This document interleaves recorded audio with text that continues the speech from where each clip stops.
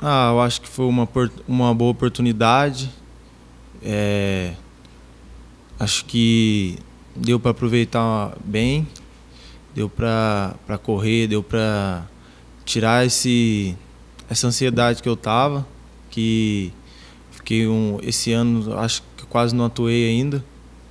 Daí eu estava muito ansioso para chegar, chegou e, e foi muito bom. Acho que eu consegui me soltar mais, ficar mais solto dentro de campo.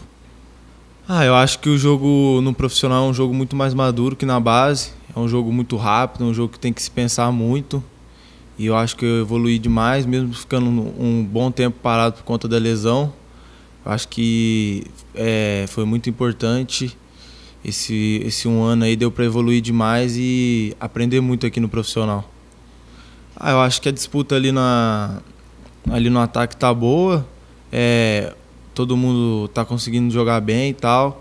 Daí um vai levando, ajudando o outro a, evoluir mais, a, a se dedicar mais, se empenhar mais para que, que alguém possa assumir a vaga.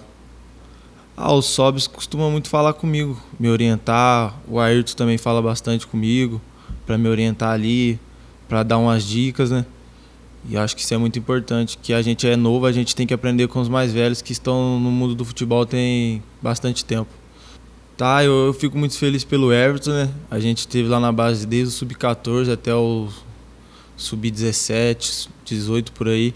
A gente tá junto desde muito novo, a gente foi para a seleção junto, sempre ficou muito junto e eu fico muito feliz com com que ele está conseguindo é, mostrar no profissional que ele trabalhou muito desde cedo para chegar a essa oportunidade ele está preparado.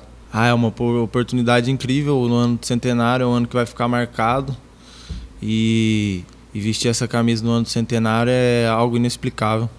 Ah, eu acho que nós temos que fazer o que a gente vinha fazendo nos jogos. A gente teve uma sequência muito boa. É, e se a gente conseguir aplicar o que a gente aplicou nos últimos jogos, eu tenho certeza que a gente pode sair com a vitória.